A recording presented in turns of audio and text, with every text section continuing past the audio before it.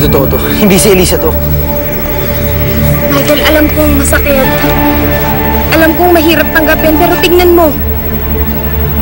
Ilang araw na nasa akin yan. Hindi ko lang mabigay sa'yo kasi alam kong masasaktan ka ng sobra-sobra eh. Sige na. Teka, samahan kita. Samahan natin yung asawa mo. Salamat po. Bisa mo. Salamat po. Salamat, sir.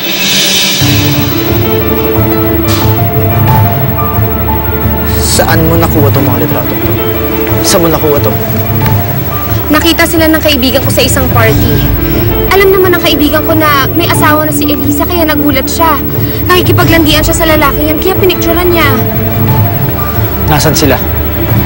Nasaan si Elisa tsaka yung lalaki niya? I don't know, Michael. Pakitapos sa picturean si na Elisa, biglang umalis si Elisa. That was the last time he saw them. All this time, may alam ka pala tungkol kay Elisa pero hindi mo sinasabi sa akin. Michael, ayoko namang siraan yung kapatid ko sa'yo. Kasi alam kong mahal na mahal mo siya. And if you knew, you'd be devastated. Alam mo, umasa pa rin ako na si Eliza mismo ang magkukwento sa'yo. Siya ang mag explain sa'yo na uuwi pa rin siya. Hindi na siya bumalik. Nung una iniisip ko kung bakit siya umalis. Kung may kasama ba siya talaga ibang lalaki. Now I realize na hindi na siya talaga babalik eh.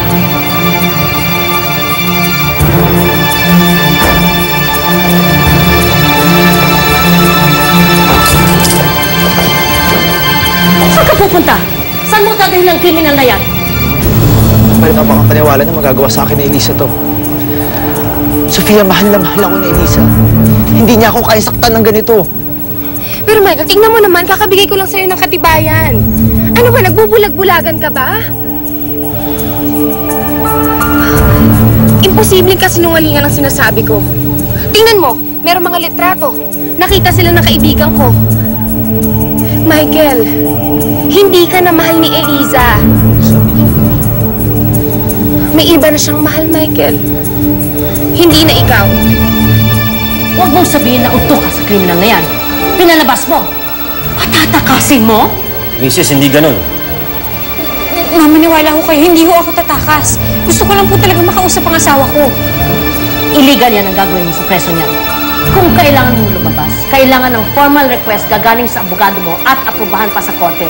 Kaya, hindi siya pwedeng lumabas ng walang legal na paraan. May legal-legal pa kayong nalalaman dyan. Ang gusto niyo lang mangyari sa akin, gusto niyo lang ako pahirapan. Hindi ako papayag na gawin akin. Gusto ko lang makausap ang asawa ko. Tigilan mo siya. Ipasok mo siya sa loob. Kung hindi, itidemanda kita. Pinibigyan na kita at mukhang mapapahamak tayong dalawa dito. Ngayon pagbigyan mo ako, ipapasok na kita sa selda.